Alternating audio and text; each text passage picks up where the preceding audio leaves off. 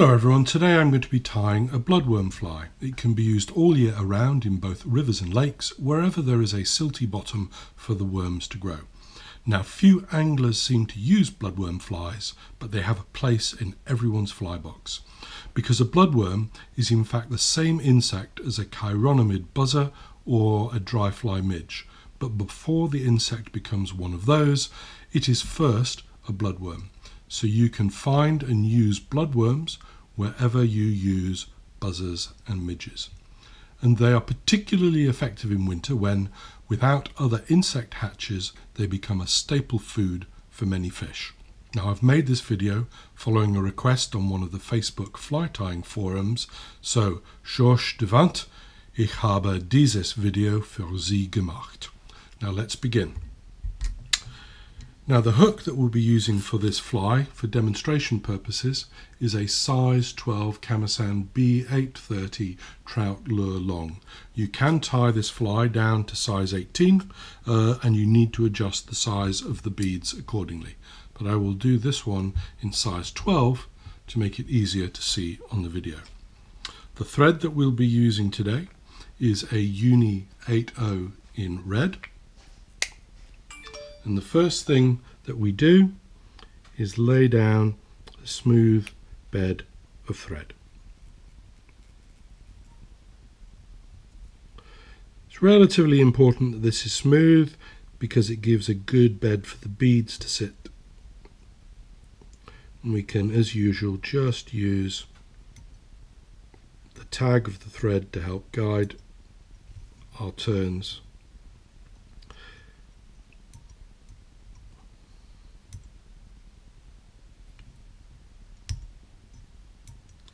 On this fly we want to come, I know from experience, slightly past the barb. Rip off our waste, come back to the head of the fly. Now this is actually a really good fly for beginners to tie because it's both very effective but it also practices a lot of the core skills of tying on and doing a whip finish. And the next thing that we actually do at this point is quickly give the hook and the thread a whip finish so that we can take the hook off and mount the beads. Now, the beads that we'll be using on this fly are a Miyuki size 11.0 and here is an example of some of them in the various different colors that they have and you can adjust the size of the beads according to the size of the fly. And for a realistic size 18 fly I will actually use the 15.0 and today we will be using the Miyuki in flame, silver and red. And we'll be mounting those on the fly. Having mounted the beads on the hook we can then put the hook back in the vise and then push all the beads to the back. To give you a feel for the different sizes, here is another fly that I often use in winter. It's my version of a free swimming caddis. And what we've got here is the fly in size 12 using 11O beads. And this is a much, much more life cycle, life sized version here, size 18O using the 15O Miyuki beads. Having got our beads onto the hook, we then tie back on at the head.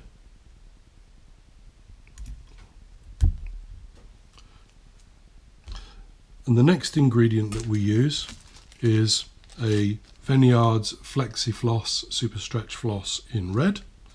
And we tie that on to form the head of the fly. Just a simple pinch wrap, three turns,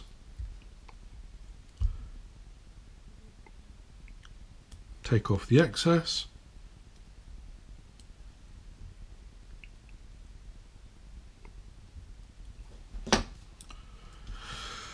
The next ingredient that we'll be using is a ostrich herl. This is dyed scarlet, it's a Turrall. If you want to make the fly in the smaller size, down to size 18, you will actually need to use a colour extracted and red dyed peacock herl like this. That's more the size for size 18. We'll start off with the ostrich herl for this larger fly. We'll take an individual piece of the herl, we'll cut off the very base which is a little bit thick and not very easy to work with, quickly tie it on and give ourselves one, two, three turns at the head of the fly with the peacock herl.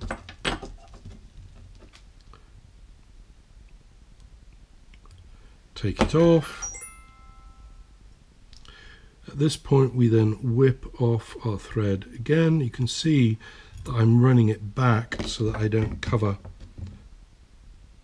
the herl itself and then I slide up my first bead to cover everything.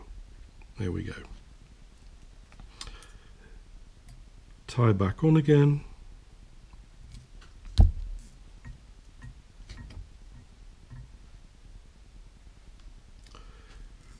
Reattach the herl. You'll notice I've attached the herl well clear of the bead. I then wind backwards once, two, three times to the bead and then hold the peacock herl out again, tying it down.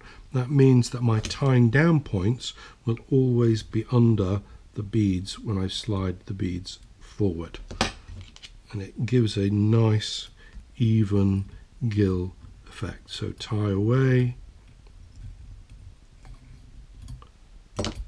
from the herl.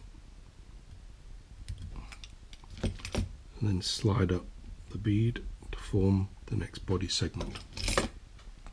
And we carry on doing this for another two to three body sections depending on the size of the fly. Now I like this fly for several reasons. Firstly, it's a very very bright fly. I can be confident that the fish will see it in murky waters and on a dark winter's day. Secondly, it is actually matching the hatch. It's not like the bright artificials that you sometimes see used for newly stocked and rather stupid fish like boobies, blobs or FABs. This fly will actually take resident fish.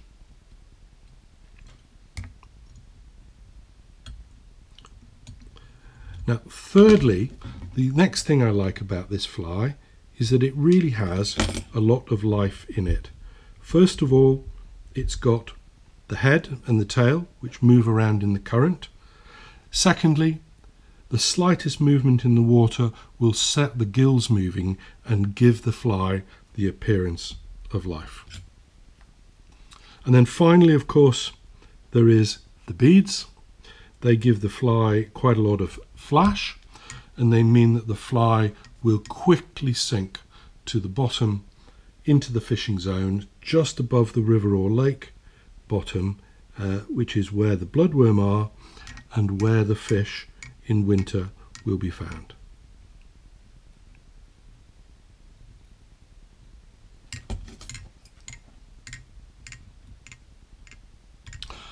Now, you usually fish this fly slow and deep in winter. And the bites are often subtle or very quick, so you need to be vigilant and pay attention. You need to strike at the slightest sign. It's now November here in the UK as I'm tying this fly and I had three fish out on this pattern yesterday in less than an hour which just shows you how effective a fly it really is.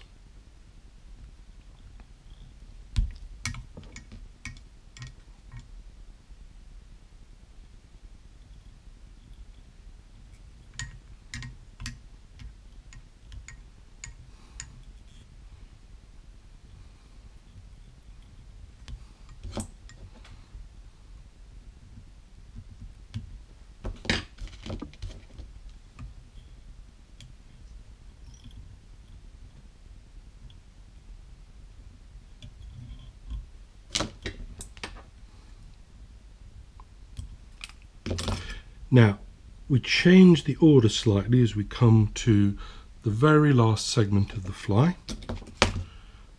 Having tied on after the last bead, the next thing we want to add is the tail, which is also made out of the red flexi floss. So quickly tie that on, making sure that it's nicely sitting on the top of the hook.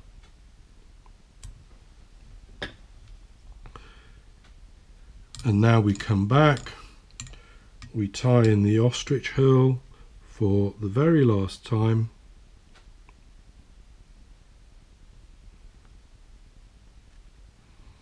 And we use this to cover the area where we tied in the tail.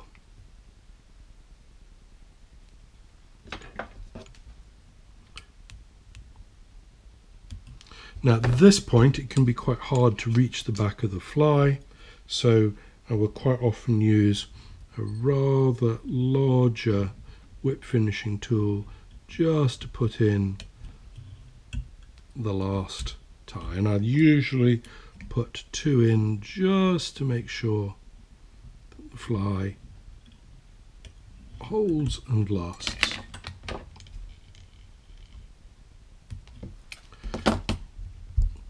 And there we have it. The winter bloodworm. Make sure you've got a number of these in your box whenever you go fishing in winter. Tight lines, everybody.